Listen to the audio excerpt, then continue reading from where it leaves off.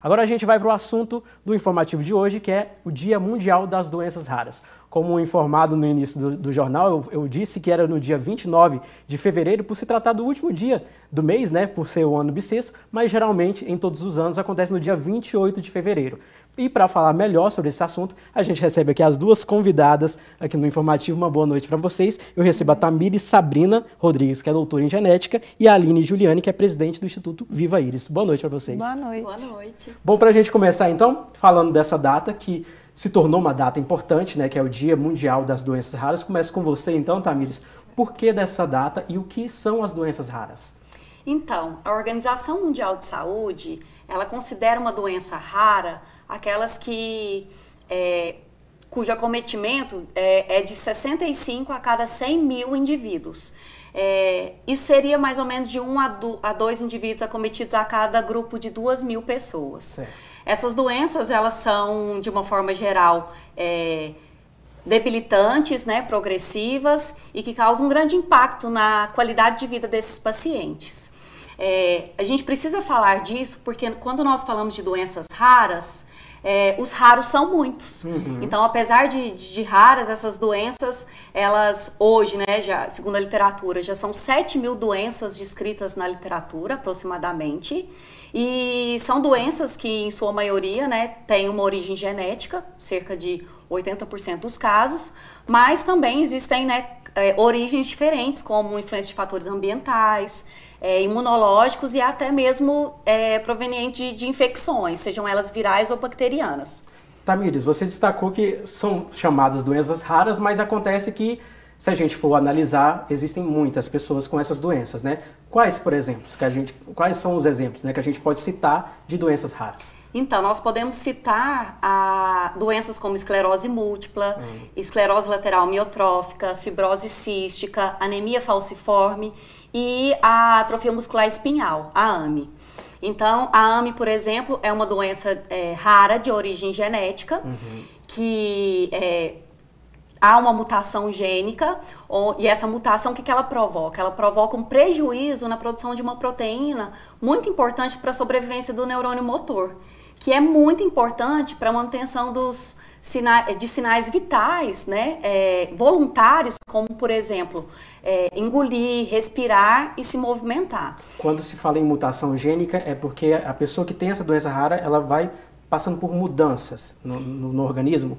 Como se explica isso? É, quando nós falamos de, de, doenças genéticas, né, existem, quando a gente fala dessas alterações, elas podem acontecer de forma espontânea. Hum. É, então, quando a gente vê esses pacientes com doenças raras, muito provavelmente houve uma alteração no DNA e aí existem várias alterações, pode um pedaço do DNA pode ser perdido, um pedaço pode ser inserido ou uma informação trocada e isso vai é, influenciar na, na formação de uma proteína. Uhum. E dependendo da função que ela desempenha no corpo, é, nós veremos né, sintomas né, e, e prejuízos para esse paciente. Certo. É, no caso da atrofia muscular espinhal, esse erro, né? Então, é, ocorre uma perda nesse gene que é responsável por guardar informação no DNA para ser confeccionado dentro do nosso corpo uma proteína, que é muito importante para a sobrevivência do neurônio motor. Entendi.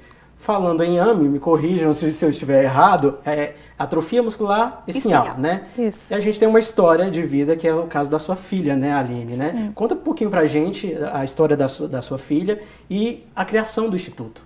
Bom, a Iris, minha filha, vai fazer 20 anos. Ela nasceu com atrofia muscular espinhal do tipo 2 num momento muito diferente do que a gente vive hoje, né? Uhum. Então a gente se deparou com uma doença rara, com um universo totalmente desafiador, num tempo onde não havia sequer tratamento ou qualquer é, esperança né, para esse diagnóstico de atrofia muscular espinhal.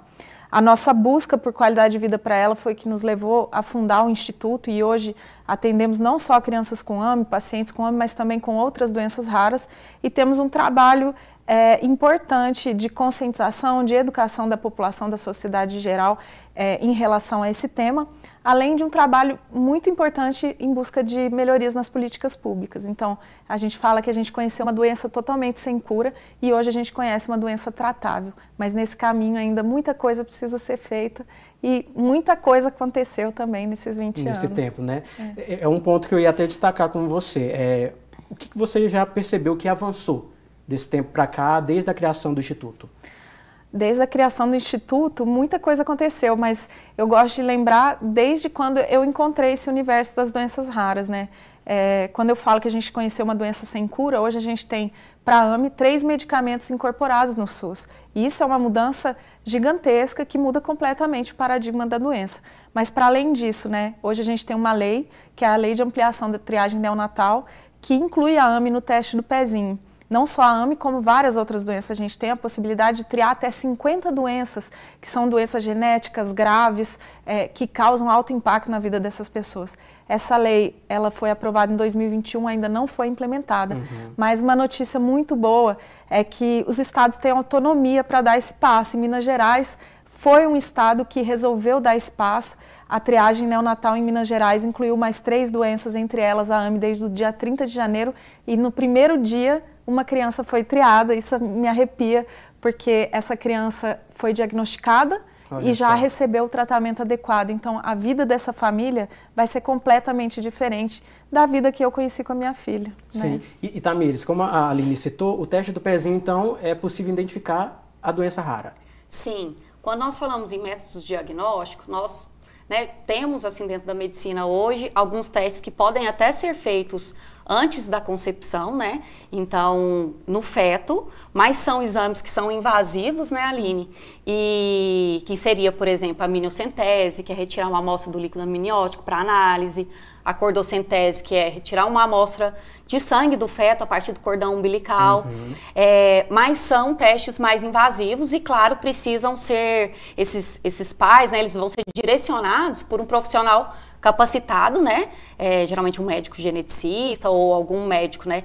Especialista em cuidar dessas doenças raras. E claro que para fazer um teste invasivo como esse, é, precisa ter alguma justificativa, né, clara, né, Aline? Como, por Sim. exemplo, já ter algum caso na família, ter um, né, um grande risco de, de ter uma doença rara. Sim. Mas nós podemos citar, por exemplo, é, de grande importância, o ultrassom morfológico, que já consegue, para algumas doenças, é claro, consegue detectar algumas anomalias genéticas ainda né, durante a gestação. Uhum. Mas, quando nós falamos após o nascimento, é importantíssimo isso que a Aline falou, que é, é ressaltar a importância do teste do pezinho e teste, por exemplo, como o teste da bochechinha, que já é um teste complementar, que não é oferecido hoje pela rede é, pública de saúde, mas o teste do pezinho, né? É, hoje ele consegue triar é, seis doenças. Em Minas agora são E agora em Minas são em Minas, mais. Esse, esse, avanço, né? São 15 Mas doenças. nessa ampliação, né, a previsão para que mais cerca de 50 é, doenças sejam adicionadas. Uhum. E quando a gente fala após o nascimento, aí a gente já fala de técnicas um pouco mais complexas, genéticas técnicas genéticas, então análises moleculares.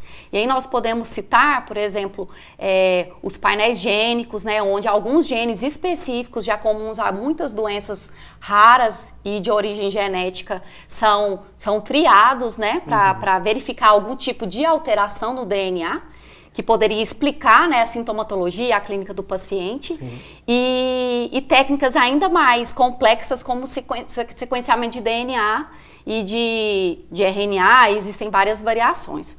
Mas é, o que, que é a dificuldade desses testes, né, Aline? São testes caros, que demandam uma mão de obra especializada. Uhum. Então, por isso a dificuldade, né, às vezes, de inserir isso é, num teste, né, na, no SUS e ter isso em grande escala, né, de forma que consiga atender todos os o, o, a, as crianças que nascerem, né? Uhum. É, mas quando a gente fala de números, é importante a gente destacar que os raros, né, atualmente no Brasil, estima-se que 13 milhões de pessoas. Olha só, muito, é um número alto. Convivem né? com um diagnóstico uhum. raro, né? E aí, quando a gente fala a nível mundial, são 300 milhões uhum. de, de, pessoas, né? E essas pessoas, elas precisam de um atendimento especializado, né? De multiprofissional, de uma reabilitação especializada. E aí, quando a gente fala de reabilitação, é, Infelizmente, né, Aline, essas doenças elas não têm cura, Sim. mas para muitas doenças já existem terapias disponíveis, é, inclusive, né, para atrofia muscular espinhal já uhum. existem algumas que são é, oferecidas, né, pelo SUS.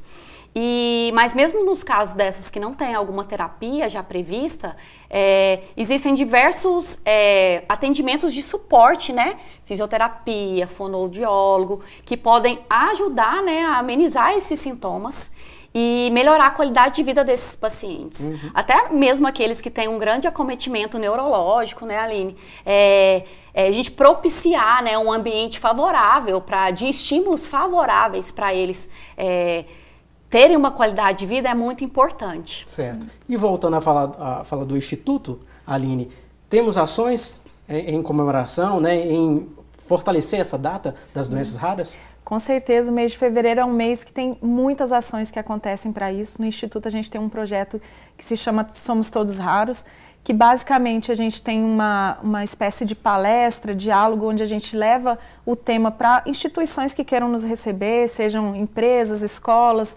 outras instituições sociais, adaptando essa linguagem para cada público. A gente tem uma parceria com a Lagem, é, que faz também esse trabalho dentro do ambiente acadêmico e leva a ciência para fora da, da universidade, isso é muito importante. E a gente também tem a iluminação dos prédios públicos, que o Berlândia abraçou isso, já é o terceiro ano que a gente solicita a iluminação. Nesse ano, todos os prédios públicos que receberam as iluminações, iluminações de LED vão ser iluminados, então hoje, essa semana, quando as pessoas virem, podem saber que isso é para dar luz a essa causa. E a Universidade Federal de Uberlândia também então, vou aproveitar o gancho. É.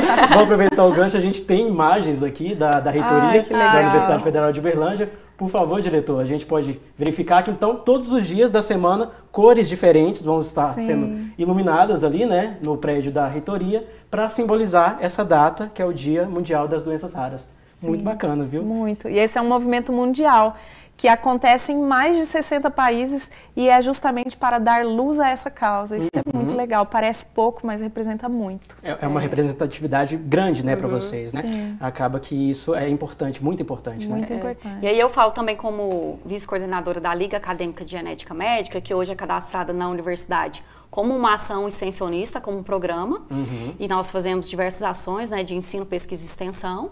E nessas ações extensionistas, né, a gente busca criar né, essa interação com a comunidade e complementar a formação dos discentes, diferentes cursos de saúde, entendendo que é importante a gente dar esse retorno social, né, uhum. é, dentro de uma universidade pública, de uma forma acessível Sim. e com uma linguagem, né, que seja adequada para toda a população. Que todo mundo possa entender. Né? Exatamente. Uhum. E nessa, em meio a essas ações, a gente teve o prazer de encontrar o Instituto Viva Íris e, e ter a oportunidade, né, de atuar como parceiros com eles em diversos projetos e um deles é esse né, projeto das, de conscientização das doenças raras, somos todos raros. Isso. E aí, pensando nisso, né, e dar força a essa causa, nós entramos em contato com o nosso reitor, e que nos atendeu prontamente para ouvir as nossas ações e como é importante levantar essa causa, né, Aline? Com certeza. E, e aí a Aline, né, teve uma ideia junto ao Instituto que é muito legal, que não é o primeiro ano que isso acontece, que ela faz um trabalho que ela distribui bandeiras, né, Aline? Sim. É, bandeiras inicialmente brancas uhum. para diversos estabelecimentos, empresas, né, associações, universidades, para falar um pouco sobre essa ação do Somos Todos Raros. E aí, né, Aline, simbolizando, né, a gente tem um símbolo aí da, de, dessa conscientização mundial, as mãos coloridas é, porque as mãos são raras, né? Quando a gente pensa em digitais, cada um tem a sua. Então é, um, é uma forma de simbolizar né, essas doenças raras. E aí essas pessoas, após esse, essa ação, né, essa palestra de conscientização, elas são convidadas né, a contribuir com a conscientização dessa causa, colocando as suas mãos legal, nessa bandeira, né, Aline? Uhum. Isso. E todas essas bandeiras foram hasteadas no nosso bloquinho de carnaval que aconteceu no sábado, que é o bloco do chulé cheiroso. Porque em fevereiro todo mundo quer falar de carnaval Sim. e a gente quer é. falar de doença rara. Então a gente criou um bloco de carnaval que ele, ele encerra assim com chave de ouro esse mês. Foi no dia 24 lá na, na Secretaria Municipal, no Centro Municipal de Cultura, junto com a biblioteca. E foi muito legal, todas as bandeiras estavam expostas lá. A gente teve mais de 500 mãos carimbadas esse ano, impacto muito significativo do projeto. Que bacana. Foi muito legal. Que bom, pessoal. Gente, eu agradeço mais uma vez a participação de vocês e por dar essas informações aqui. E é sempre importante a gente destacar né, o que são as doenças raras para todo mundo ter esse entendimento e ter acesso a essas, essas informações. Né? Obrigado pra, é, a vocês mais uma vez e uma boa noite. Obrigada. Obrigada. Tá? E a gente espera não só falar das doenças raras nessa data, mas também no decorrer do ano, né? Com certeza, Com certeza. precisamos.